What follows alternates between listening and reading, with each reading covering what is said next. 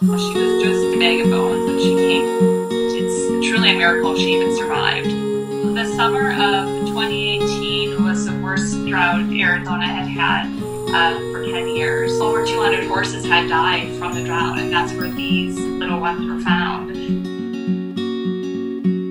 You can see every bone, you can see her entire spine. After that first night, I was like, there's no way this little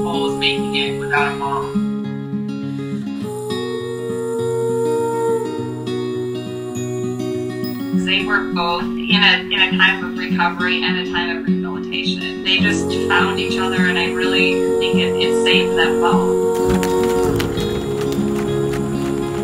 Well, that was when you knew that she was going to make. That was when you knew she was going to be a normal foal and a horse. Her personality just got bigger and bigger from there. Until the time I was like, you're ready to be adopted. She was so friendly and so sweet, and I just knew immediately that we were going to be best friends for life. He's an old cowboy, and the first time he saw Mila, he just lit up.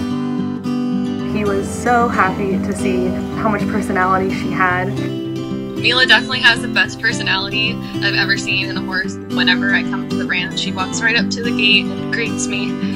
She's very vocal. She loves to whinny or skirt or squeal. So Mila is a curly-haired horse. My favorite are her curls right in between her ears. Yep, those are curls right between her ears. They're so cute. I just love watching her grow and learn and how much fun she's having learning. I think when we found out that she really enjoys jumping, that was really fun. Uh, she'll jump over anything. She also knows how to lay down on command, so I can lay her down, put her head on my lap. It's adorable. We also take her out on trail rides with us. I'll just pony her behind me and she stays right with us and she'll actually go faster than the horse I'm riding. She wants to she wants to run. She doesn't hesitate at all doing any of these things. She doesn't hesitate getting into the water. She'll follow us through anything, through whatever brush and desert we're going through, up hills, downhill. She loves it.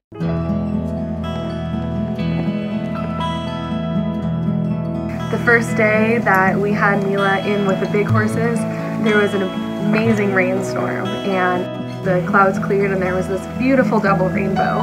When she joined the herd, I think she kind of fit right in. She walked right up to them. She wasn't afraid at all. She's so brave. She was just so happy.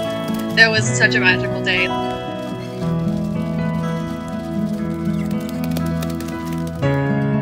She really is my little miracle horse, my little miracle baby.